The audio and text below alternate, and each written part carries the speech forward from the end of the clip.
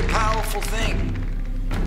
I mean, it's got a lot of firepower. If you can figure out a way to wrestle that fear, to push you from behind rather than standing in front of you, that's very powerful.